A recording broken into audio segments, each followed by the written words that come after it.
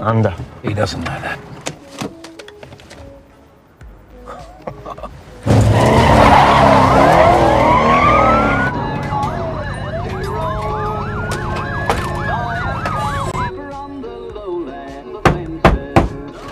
G'day. Get out of here. No worries.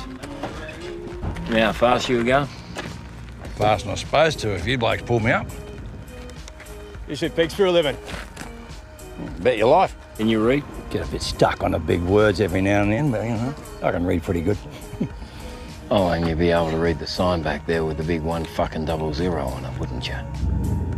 You know, I could have sworn I was, you know, sitting under a hundred there, you know. You think I'm talking shit?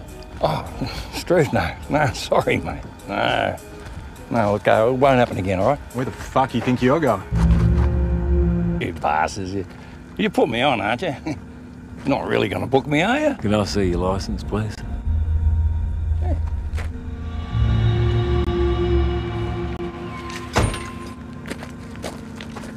This plus a speeding ticket. It's in order to take this car off the road. For good. Tires are as bald as a baby's ass. I'm amazed it's even running.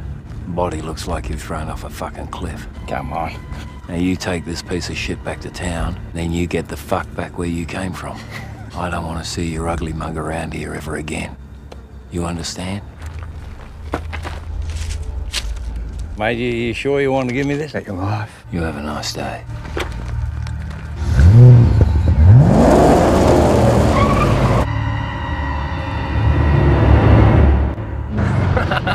you fucking asshole.